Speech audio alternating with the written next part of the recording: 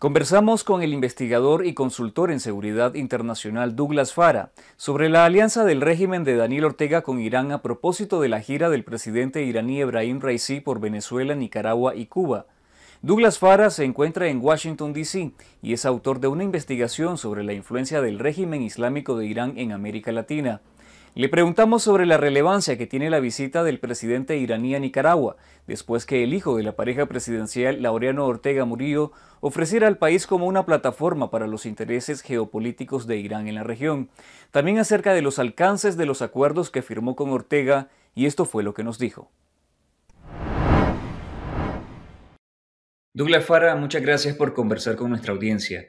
¿Qué relevancia tienen los encuentros que sostuvo el presidente de Irán, Ebrahim Raisi, con los dictadores Daniel Ortega en Nicaragua, Nicolás Maduro en Venezuela y Díaz Canel en Cuba? La agenda en común que tiene Irán con esos países, las dictaduras de América Latina, es mostrar cierta solidaridad para demostrar que ninguno de esos países está solo a pesar del aislamiento de Estados Unidos, de la Unión Europea, etc.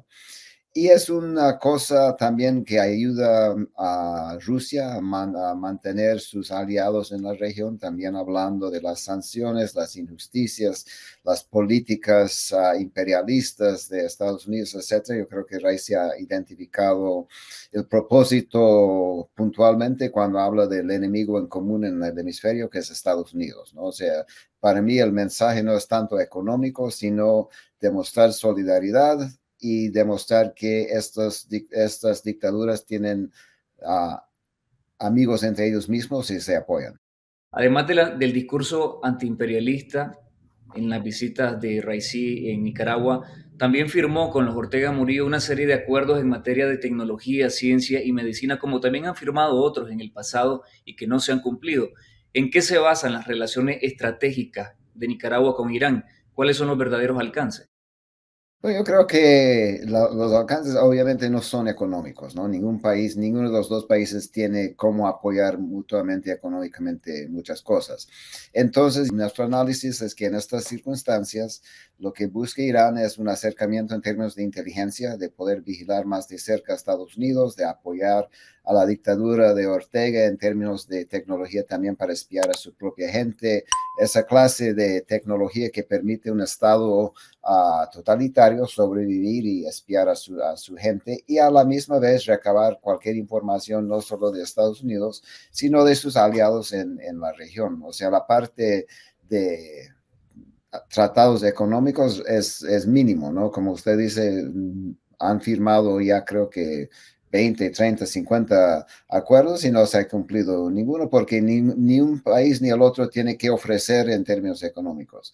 Sí tienen que apoyo en términos de entrenamiento en inteligencia, entrenamiento militar, cosas que las dictaduras necesitan para sobrevivir. Irán es el maestro en eso, ¿no? Son ya tres visitas de altos funcionarios iraníes en, poco más de un año a Nicaragua. Primero fue el viceministro de Asuntos Económicos, Mohsen Rezai, en 2022 y en febrero de este año también estuvo el canciller José Amir Abdullahian, que también acompañó a Raisi esta semana. ¿Qué puede ofrecerle la dictadura de Ortega a Irán y qué beneficios puede sacar de esas relaciones? Ya decía, en términos económicos ninguna, tal vez en militares, en términos políticos, ¿cuáles?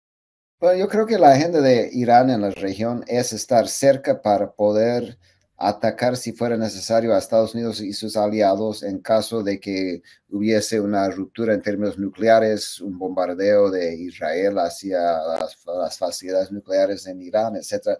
O sea, posicionarse bien con sus aliados y a la par, o sea, yo creo que es parte fundamental de ese acercamiento estratégico, no en grandes números, sino en lugares específicos, puntuales y estratégicos. Y a la par, va la agenda de protegerse entre ellos mismos en las Naciones Unidas, en todas las esferas ah, internacionales, para que no haya condena ni para uno, ni para el otro, ni para Rusia, ni para Irán, ni para los bolivarianos, etcétera, para mantener esa, esa protección mutua en términos de evitar sanciones. Y yo creo que la, la, otra parte, la tercera parte, es precisamente eso de evadir sanciones. ¿no? Irán es un maestro ha, sido hace décadas ya sancionado y sabe evadir sanciones. Y la dictadura Ortega Murillo está buscando desesperadamente cómo romper el aislamiento económico que ha sufrido por su dependencia en términos a Estados Unidos. Entonces yo creo que hay un aprendizaje mutuo ahí y eh, Irán puede acceder a varias cosas a través de Nicaragua que tal vez no tiene acceso de otros países y Nicaragua puede aprender mucho sobre romper sanciones de parte de Irán. En su gira, Raisi precisamente exhortó a los mandatarios, a los dictadores, a la reintegración de los países para neutralizar las sanciones impuestas por Estados Unidos y de las que describías como que han tenido éxito esquivando esas sanciones. Y eso es replicable en los casos de Nicaragua, Cuba y Venezuela. Bueno, obviamente Cuba ha sobrevivido, ¿no? O sea, Nicaragua, a pesar de ser tal vez el, más débil de, de, los socios en, ese, en esa circunstancia, también ha aguantado porque ellos aprendieron, como aprendió Venezuela, que si las los élites políticos, militares y de, fuerzas de represión interna están bien más o menos económicamente, la dictadura puede sobrevivir muchos años, ¿no? Entonces no están tratando de resolver los problemas del pueblo, de hambre y de educación y de salud, sino están buscando lo mínimo para mantener quietos a los que podrían a volverse contra el régimen con, cierta, con cierta fuerza. Yo creo que Irán ha demostrado una capacidad de matar a su propia gente, reprimir a su propia gente, que Daniel Ortega ha demostrado también, que Cuba ha demostrado también durante, durante mucho tiempo. Entonces yo creo que esa es parte de, el acercamiento que ellos tienen para mantenerse fuera de sanción, de ser condenado internacionalmente y ampliar con grietas, o sea, no hay mercados muy grandes, pero hay espacios para moverse, para sobrevivir, que es lo, mínimo que están buscando en este momento. Douglas, en abril de New York Times reveló por un documento filtrado del Pentágono que el ejército de Nicaragua exploró con Irán la posibilidad de una cooperación militar para contrarrestar la influencia de Estados Unidos en América Latina. ¿Cómo se ve en Washington estos acercamientos de Ortega con Irán en materia de seguridad?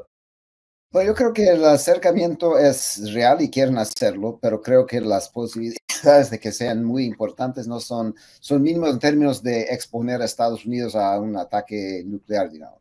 Mucho más preocupante acá es la, es la relación con Rusia y la nueva relación que tienen con, con Beijing ahora para poder ampliar esos espacios militares de una manera mucho más rápido, mucho más sofisticado y mucho más uh, coherente.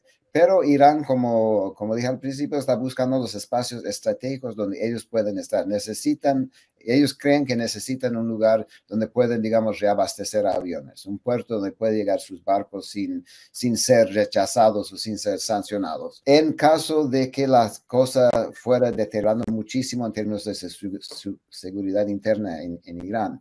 Entonces, ellos no tienen tanta capacidad. Pueden proveer drones, pueden cierta clase de barcos, buques de guerra, ciertas cosas donde Irán sí tiene la capacidad, pero China y Rusia tienen mucha más capacidad y además mucho más recursos para tirar en la región.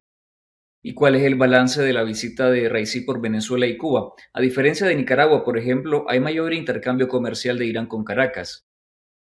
Sí, pero en términos reales es también sigue siendo mínimo. Lo que, lo que sí, eh, donde nosotros hemos detectado un, un nexo muy importante es en términos de la exportación de oro, tanto de Venezuela que va a Nicaragua, de Nicaragua al mercado internacional que no es sancionado por internacionalmente como está sancionado el oro de, de, de Venezuela.